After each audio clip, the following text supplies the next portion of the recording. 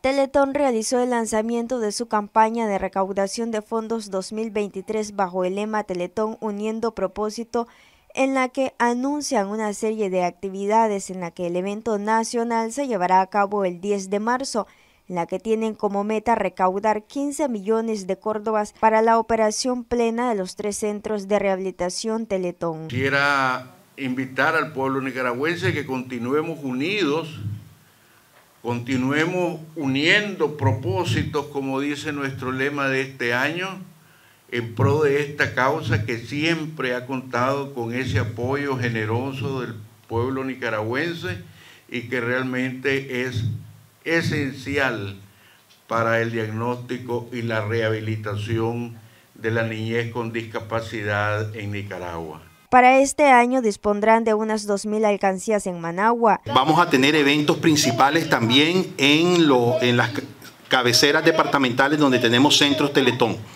En Chinandega, en Huigalpa y en Ocotal. Vamos a tener actividades también en Granada, ¿verdad? Eh, de hecho, tenemos el próximo 26 de febrero la sexta edición de la carrera eh, por Teletón, ¿verdad? Que ya estamos inscribiendo y estamos organizándonos para desarrollarla.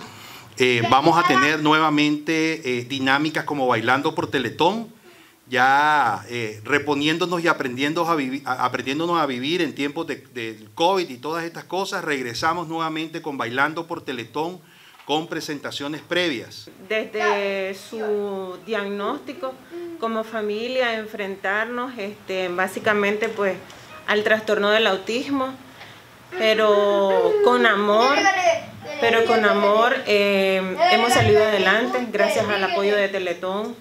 Hemos superado muchos obstáculos en cuanto a lo que es em, cuando las personas nos ven en la calle y nosotros tratar de descifrar si ella se encuentra en una rabieta o simplemente está en un momento de frustración al no eh, poder comunicarse exactamente y decirnos mamá quiero esto o mamá necesito esto. Pero poco a poco con la ayuda de Teletón y con las terapias pues hemos salido adelante. Esperamos que este año pues se logre el propósito pues de, de, recaudar para que las familias nicaragüenses entiendan de que nuestros hijos no son unos niños eh, con una enfermedad. Simplemente pues hay que eh, incluirlos en todo. El año pasado recaudaron al menos 9.318.439.53 córdobas hasta el 31 de diciembre. Noticias 12, Darlene Telles.